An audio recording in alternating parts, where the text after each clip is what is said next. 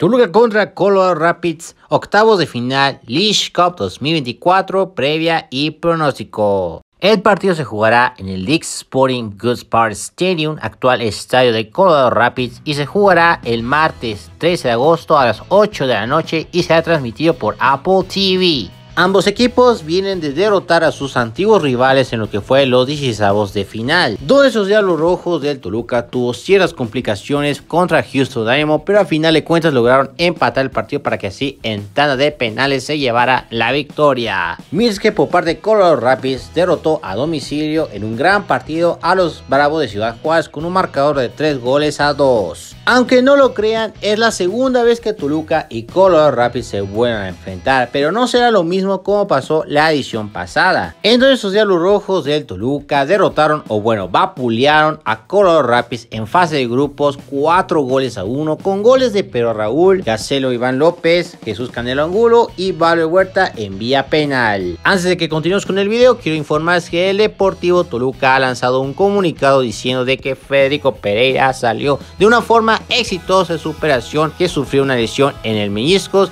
y que ahora tendrá que esperar alrededor de 6 semanas para que se recupere y esté al 100%. Probablemente lo veremos en acción cuando Toluca se enfrente a los rojinos del Atlas en la jornada 10 de la Apertura 2024. Pero desafortunadamente sí estará dado de baja para lo que queda de Alish Cup de no estudiar los rojos del Toluca. Pero de todas maneras hay que desearle pronta recuperación para Federico Pereira y esperemos próximamente verlo de vuelta en acción. Dudo mucho de que Renato Paiva haga modificaciones en el 11 ideal tras lo ocurrido que pasó el partido pasado, pero por el momento veo dos cambios desde la media cancha en adelante. Para empezar, Baeza y Maxi Araujo son los principales candidatos a estar en la banca debido a que no hicieron un buen partido contra Houston Dynamo. Me gustaría ver en esa posición a Frankie Amaya para ver de qué está hecho este jugador y el regreso de Takeshi Meneses. También me gustaría que haga modificaciones en la defensa, pero veo muy poco probable que eso suceda porque es lo único que tiene Paiva y que son gente de mayor confianza. Así que la alineación debe estar de la siguiente manera. Thiago Volpe en la portería, Luan García y Bruno Méndez en la defensa central, Jesús Gallardo y Brian García como laterales, Marcel Ruiz y Frankie Amaya como volantes de contención,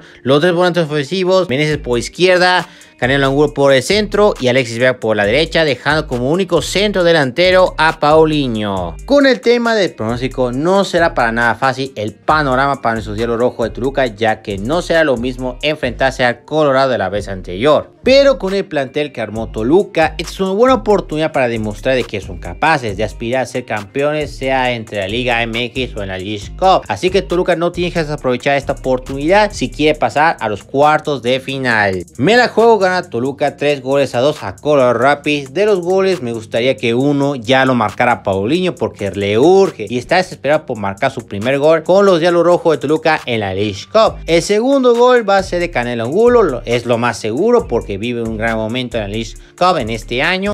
Y el tercer gol podría ser cualquier jugador, sea Alexis Vega, Marcel Ruiz, el quien sea, no pasa nada. ¿Cuál sería su pronóstico para Truca contra Colorado Rapids? Deja sus predicciones en los comentarios. Bueno amigos, llegamos ya al final del video. Ya saben que si les gustó, denle un buen like. No olviden compartir el video en todas sus redes sociales. Tampoco no olviden suscribirse al canal y activar la campana de notificaciones. A su vez invitarlos a que visiten mi página de Facebook de Alvio Tapatío. Dejaré en la caja de descripción el enlace para que que lo vean, lo visiten y me puedan seguir. Soy el Brillo y nos vemos en el próximo video.